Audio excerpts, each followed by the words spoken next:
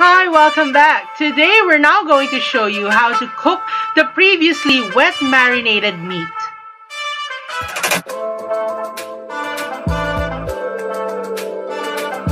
First up, we have Filipino garlic salpicao. Okay, so we are using beef for this.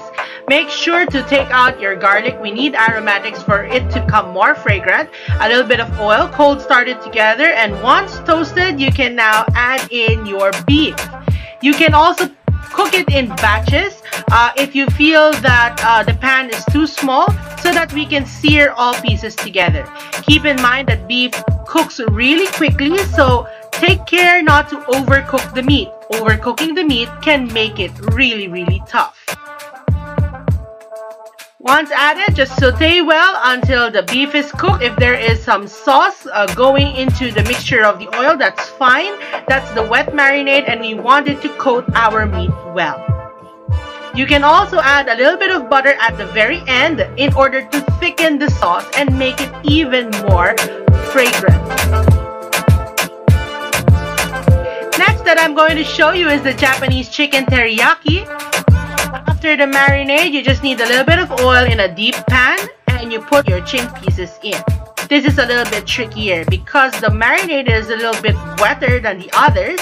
Okay, sometimes the sauce will come out, but don't you worry, you just need to uh, press it down so that the chicken will absorb the excess sauce and it will grill well over the pan. Put it, the chicken skin side down first. This will help uh, absorb the sauces and also caramelize the fat from the skin and char it really nicely and then turn it over so that you can cook the other side. This will take a bit of time. Uh, if you are using thigh fillet, especially fatty, um, it will take a few minutes for you to be able to cook uh, the chicken well. When that's done, transfer in a container. You can also opt to serve it chopped. And then in the same pan, put in the remaining of your marinade. You can now make your teriyaki sauce that you can serve on top of rice and with your chicken.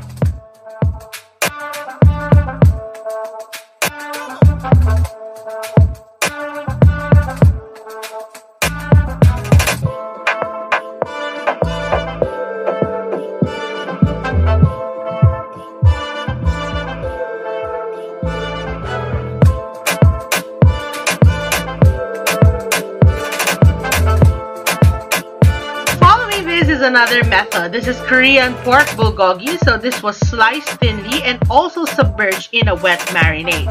So again, just put 2 tablespoons of oil and in sections or in parts, put the meat, the marinated meat in the pan and saute or sear until well cooked. You will see it change color and then you will know that it's already cooked. Once that's done, you can remove it and set it aside and repeat the process until you have done all of the meat.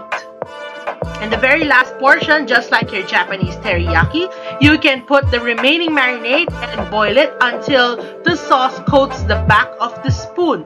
Once that is done, you can now pour this sauce over the meat to keep your meat really juicy.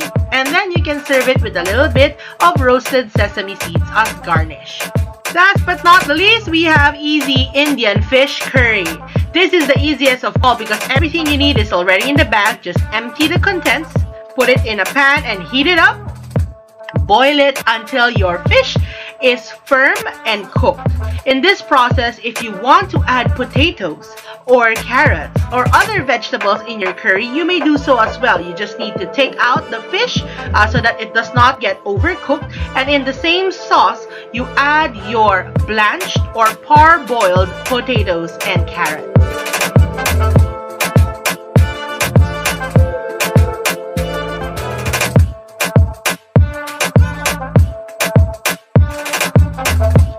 Once that's done, it's boiled and everything came together well, you can now transfer it into a serving dish and add fresh cilantro for additional flavor and aroma.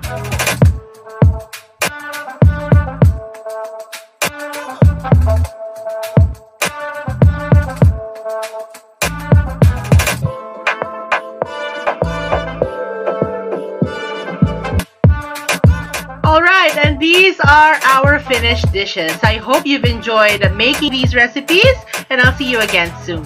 Bye!